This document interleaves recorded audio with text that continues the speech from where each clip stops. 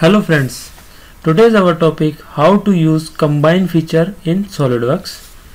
Firstly click new on standard toolbar and now select front plane and normal to it. Now go to sketch toolbar and make a line it okay now select a tangent arc okay now a line again okay let's dimension it.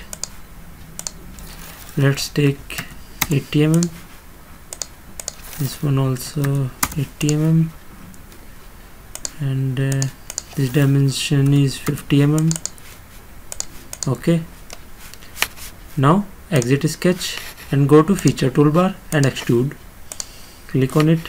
And thin feature and that thickness is select 10 mm and blind dimension is let's take 100 mm and click ok.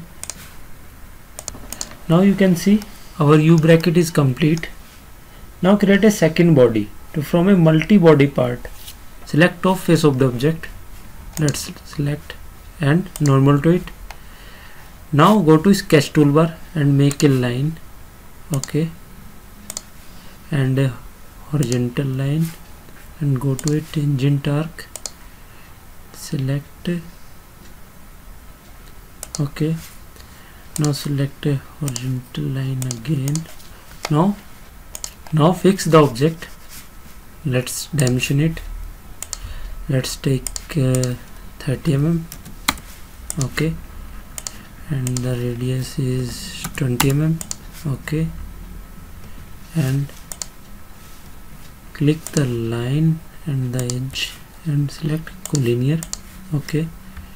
And the tangent and edge is tangent okay. Now dimension it like uh, 40 mm okay. Now you can see our object is fully defined. Click exit sketch and go to feature toolbar and select extrude boss okay.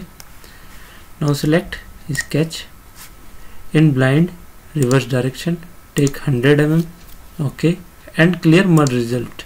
Okay now click. Okay now you can see we have two bodies. Now go to data migration click on it and select combine. First option is operation type select common. Okay and second one is bodies to combine. Select bodies to combine. Okay first select extrude thin. Okay second is extrude boss and click show preview. Now you can see our two bodies is now a single body. Click ok. And our combined command is complete now. Thank you for watching. Please like my video share my videos and subscribe my channel